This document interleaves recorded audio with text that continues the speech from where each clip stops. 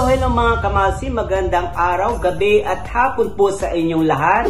So tayo po ngayon ay gagawa ng reaction video regarding po sa mga komento ng mga Pinoy sa isang Miss Universe Canada 2020 na si Miss Nova Stevens. So, before that guys, kung bago ka ba lang sa aking channel, please don't forget to like, comments down below, and please do subscribe para maging updated po kayo sa aking mga videos. So, let's start!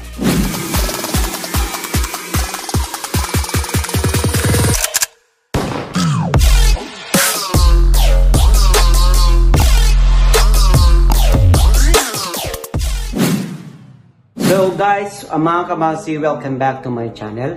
So ako po ngayon ay medyo disappointed and malungkot dahil nga po sa mga komento ng mga kapwa natin Pinoy sa isang uh, Miss Universe Canada 2020 na si Miss Nova Stevens.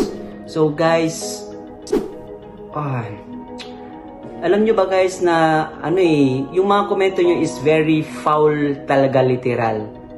Kasi guys, hindi nyo ba naisip na you are representing the Philippines dun sa mga komento nyo? Okay lang sana guys kung English yung sinabi nyo dyan eh. Kaso nga lang literal na Tagalog. So ibig sabihin Pilipinas yon. So lahat ng Pilipinas or lahat ng mga Pilipino is nagiging masama sa paningin kung uh, sa Canada na sina, sa Miss Canada na yun. So guys, guys, it's so very very foul guys yung sinabi nyo. Please. So kung alam nyo guys kung real account nyo dyan yung nilagay nyo, I'm, I'm sure mas mainit pa sa panahon ngayon ang nakukuha yung mga negative comments mismo sa inyong mga accounts. Pero kung dami account lang yan, yun yung mahirap. Kasi guys, words is very powerful. Social media is very powerful today. So, guys, yung mga nasabi nyong nog-nog, nakakatakot, parang engkanto. Oh my racism, bully, cyberbullying guys. Ano guys yung mga naisip nyo? Nagawa nyo ba yan or nakomento nyo ba yan dahil lang gusto nyo din mapansin? Dahil ba kulang kayo sa pansin? Hindi ba kayo masaya sa buhay nyo? Kaya nagawa nyo magpapansin na lang? Guys naman, mga ka kapwa ko Pilipino, kung gagawa lang kayo ng mga kagagaguhan, huwag niyo naman idamay po ang buong Pilipinas, ang mga kapwa niyo Pilipino. Ang mga Pilipino is palaban, uh, laging on the top, maganda yung characteristics, pero on the other side as well, may mga negative din tayo na hindi natin maiwasan. At ito nga ang pagiging judgmental. So, I'm not saying this para nagmamalinis ako.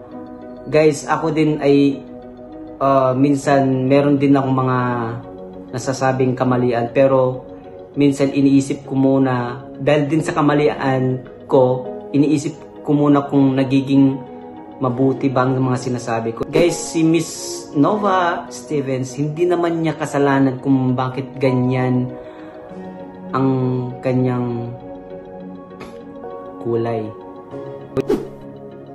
It's natural guys, natural yan. So, walang masama kung anumang kulay ang meron ka guys. Dito guys sa England, actually guys nakakaramdam nakakaramdam din po kami ng racism, ng bullying at uh, discrimination. Hindi lang namin pinaparamdam kasi alam namin kung paano namin i-handle ang discrimination dito sa ibang bansa. ang pagbubuli sa amin at yung racist. Kaya minsan pa nga dito sa ibang bansa, kapwa Pilipino mo mismo nilalait ka, dinadown ka. What more pa kaya na yung komento nyo dyan sa Miss Universe Canada, Canada na yan na literal na Tagalog, literal na Pilipino mismo ang nagkomento. Ay,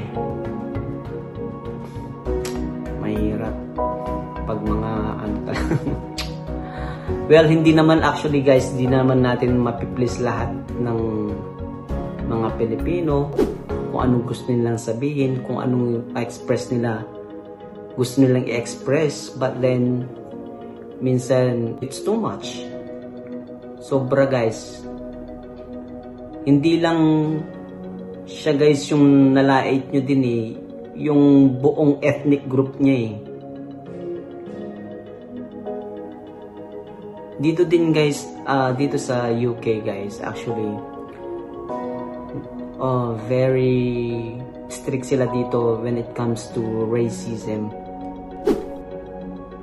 kaya nga dito may may ginawa silang BLM. Ganun yung parang I'm not pretty sure pero yung Black Lives Matter, ganun Black Lives Matter UK. So inimplement nila na yung regarding sa ethnic group, mga racism. Pero kami mismo guys minsan kahit na-implement din nila na bubuli na discriminate din kami dito sa abroad. Kahit sa ibang bansa, kahit sa ibang mga parte ng mundo. Kaya sa ano sa sa US, yan mostly mga Asians mga nadi-discriminate yan na na nabubuli. So minsan napapatay pa dahil nga sa mga nangyayari sa mundo dahil nga din sa virus na yan. So Guys, uh, advice ko lang dyan sa mga nag-comments dyan kay Miss Steva, uh, Nova Stevens na good luck na lang sa inyo. Sana maging masaya ang buhay nyo. Kung nagtatago man kayo sa inyong accounts na yan guys, sana mag-apologize kahit paano sana mag-apology kayo. Public apology kayo sa mga nasabi nyo guys. Very foul talaga literal. Ang daming problema ng Pilipinas ngayon, dumagdag pa kayo.